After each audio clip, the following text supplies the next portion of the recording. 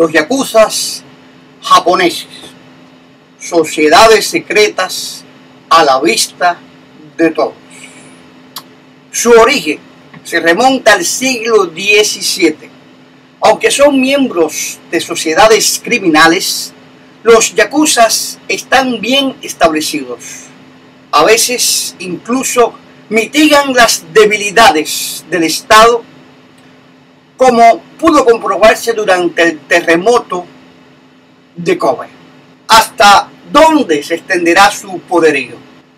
A veces pienso que los gobiernos creen que esta mafia pondría en peligro miles de millones de dólares de actividades comerciales.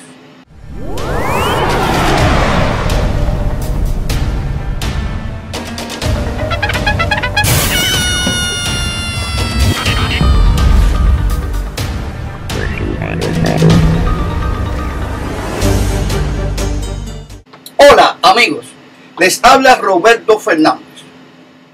Empecemos el día hablando de los yakuza japoneses. Fíjense que en 1974 el primer ministro de Japón, Kakuei Tanaka, tuvo que presentar su disminución. El escándalo Head acababa de llegar hasta la cima del Estado. 12.600 millones de dólares habían sido desviados.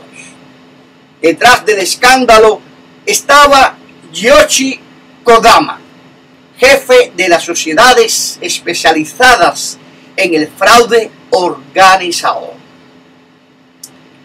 También detrás se perfilaba el poder de los yakuzas, los cuales constituyen en realidad una mafia, pero están reagrupados en sociedades bien establecidas. La más famosa, el Yakamoguchi Gumi de la región Kansai, que en un principio era el sindicato del puerto de Kobe y cuenta con más de 10.000 miembros. Es tal su poder que cuando sobrevino el terremoto de Kobe en 1994, pudo aportar una gran ayuda a sus habitantes, mientras que el Estado pareció quedar impotente ante la catástrofe. Los orígenes de los yakuzas se remontan al siglo XVII, como bien yo dije al principio del programa. En esa época, el fin de la guerra civil había lanzado a las calles de Japón a cientos de miles de samuráis desmovilizados. No sé si alguno vio la película de Kurosawa, Los Siete Samuráis. Miren aquí, les voy a explicar algo sobre esto. En el imperio aquel de los samuráis, donde ellos gobernaban y seguían al lo que se llama al mandarín, al principal de todos ellos, resulta que empezó a introducirse el occidente entregando armas de fuego. Esa ayuda fue crucial para los japoneses porque empezaron a comprender otra cultura y otro dominio de lo que se llama el armamentismo.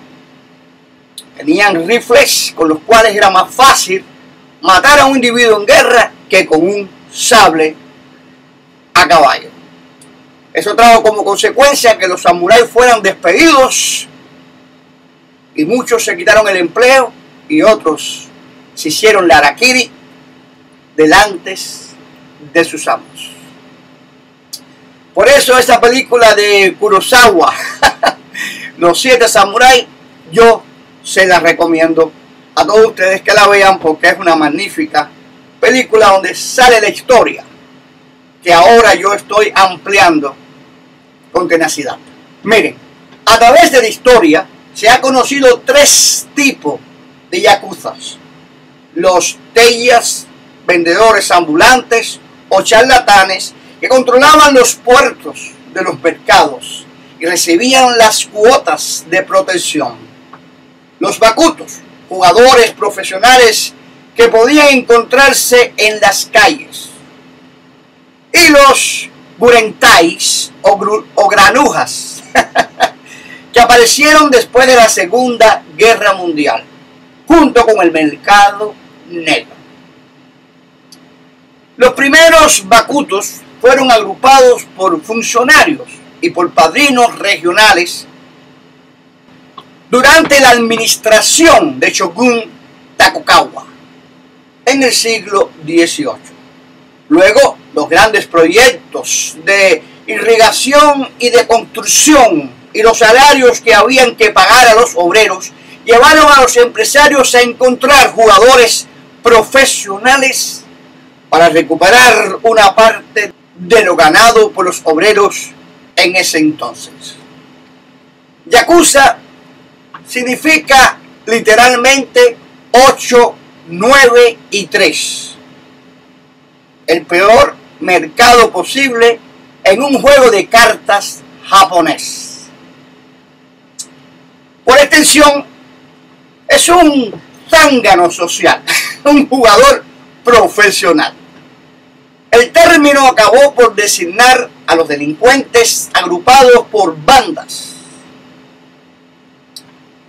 Esto fue importante en la nomenclatura de esa organización.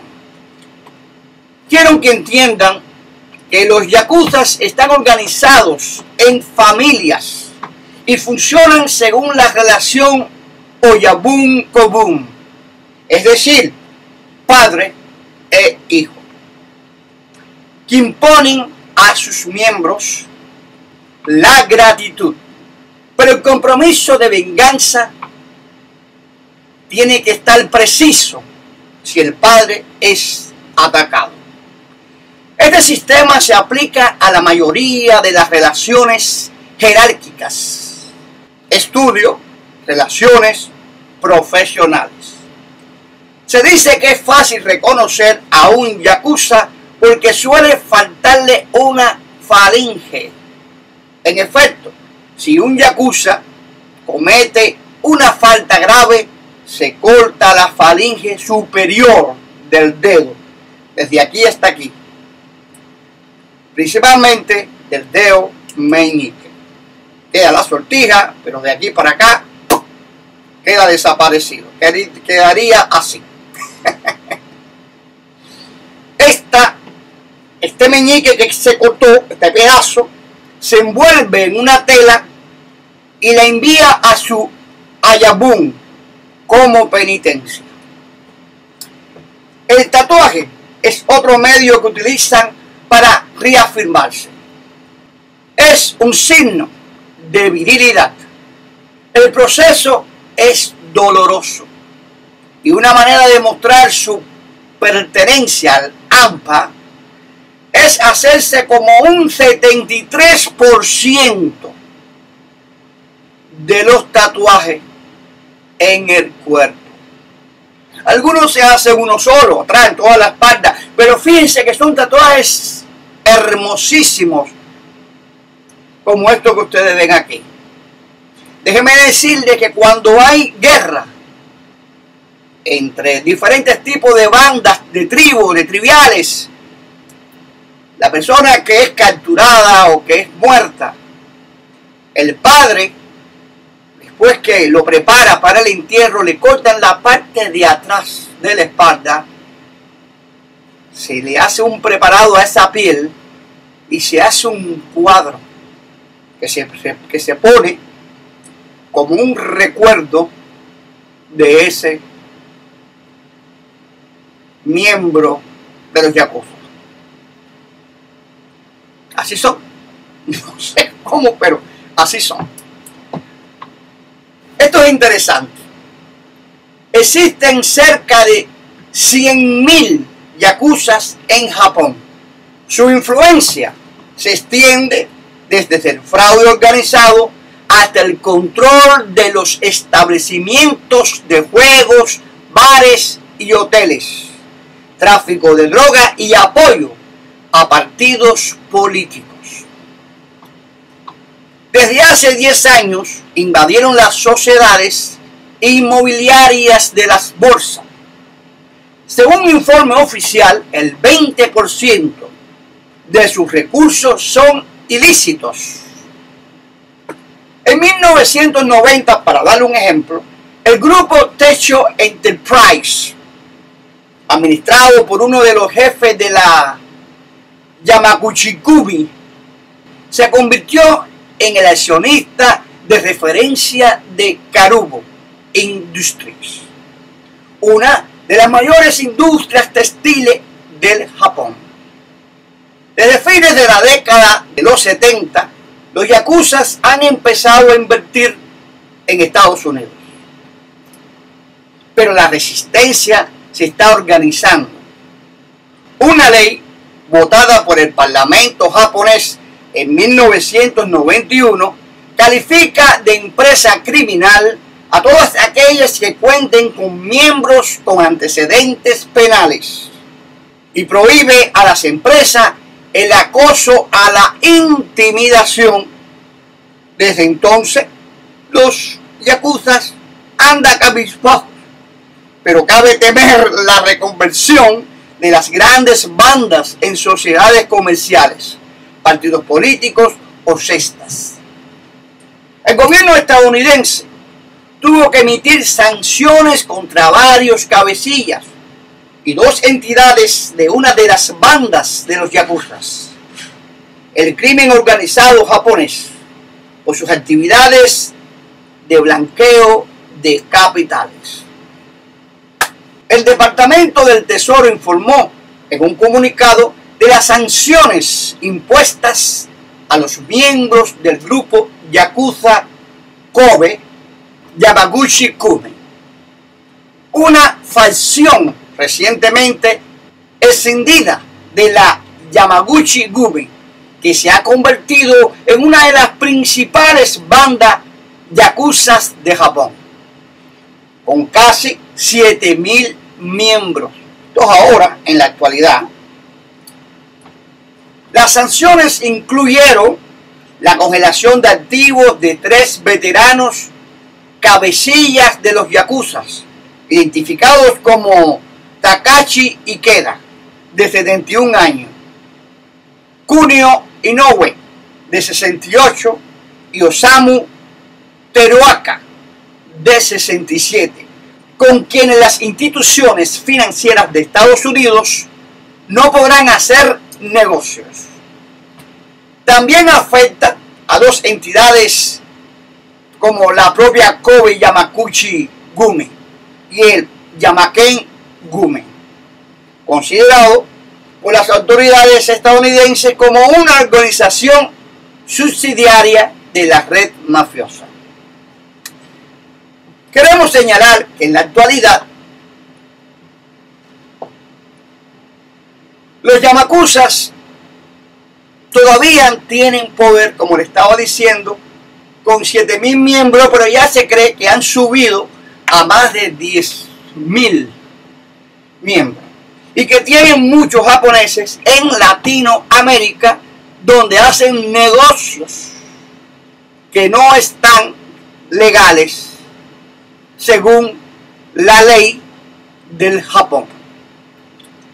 No quiere decir con esto que todos los japoneses son yakuzas, ni que son mafiosos los japoneses son personas muy trabajadoras, muy estudiosas, que se preparan desde jovencito hasta con tres y cuatro lenguas.